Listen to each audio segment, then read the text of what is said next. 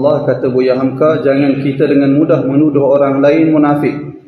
Tetapi perhatikanlah pada jiwa kita sendiri kalau-kalau penyakit ini ada pada kita entah sedikit, entahkan banyak. Ini satu poin yang penting untuk kita semua orang-orang yang mengaji ilmu agama ni ambil perhatian. Iaitulah setiap kali kita membaca ayat Al-Quran, kita memahami, kita belajar untuk memahami ayat-ayat Al-Quran. Setiap kali hadis-hadis Nabi yang kita baca, dan kita berusaha untuk memahaminya kita kena tengok diri kita. Itu yang pertama sekali. Kita kena tengok diri kita sendiri bukan kita tengok orang lain.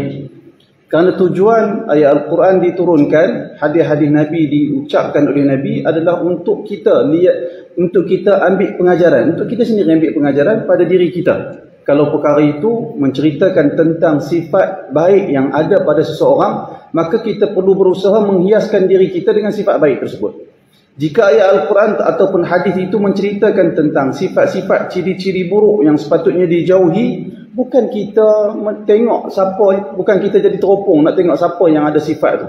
Lalu kita nak kenakan ayat dan hadis itu kepada dia. Sebaliknya kita kena tengok teropong dan perhatikan diri diri kita sendiri apakah kita memiliki ciri-ciri yang buruk tersebut. Kerana itu bila kita membaca, kita belajar, kita baca tafsir tentang di apa permulaan surah al-baqarah yang menceritakan tentang sifat orang-orang kafir sifat orang-orang beriman sifat orang-orang munafik maka kita perlu perhatikan diri kita sendiri.